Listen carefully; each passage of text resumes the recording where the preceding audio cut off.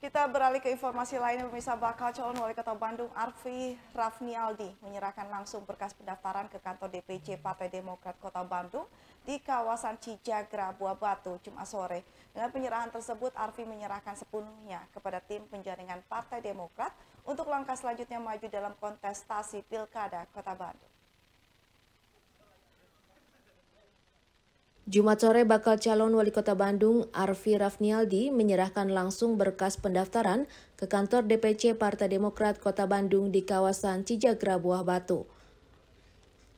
Penyerahan berkas pendaftaran tersebut diterima langsung oleh Ketua Tim Penjaringan serta pengurus DPC Partai Demokrat Kota Bandung. Dengan penyerahan ini, Arfi menyerahkan sepenuhnya kepada tim penjaringan dan Partai Demokrat untuk langkah selanjutnya maju dalam kontestasi Pilkada Kota Bandung dalam pilwalkot ini kan banyak sekali para pihak yang punya itikat baik untuk memperbaiki kota Bandung. Baik itu dari partai politik seperti partai Demokrat yang membuka kesempatan maupun para tokoh yang memaju nah ini gayung bersambut.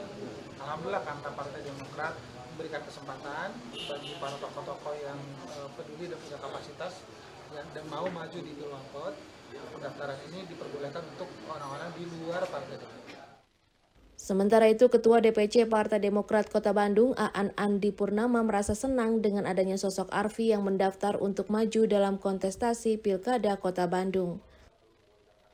Bulan uh, April ya, April ya sekarang dan sudah ada dua nama uh, Arfi hari ini ya alhamdulillah kita mau coba terima kasih Arfi atas kehadirannya dan juga daftar di Partai Demokrat. Tentu saya sebagai DPC Partai Demokrat merasa.